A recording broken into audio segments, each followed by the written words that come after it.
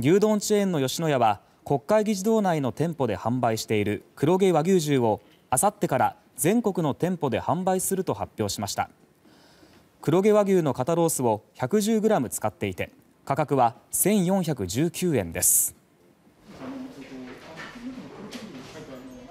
お肉が分厚くて噛めば噛むほど旨味が出てきます。味もしっかりしているのでご飯にも合います。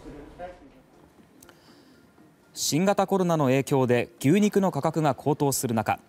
牛肉を主軸に展開する吉野家では大量に入荷することで少しでも安く提供できるようにしたということです。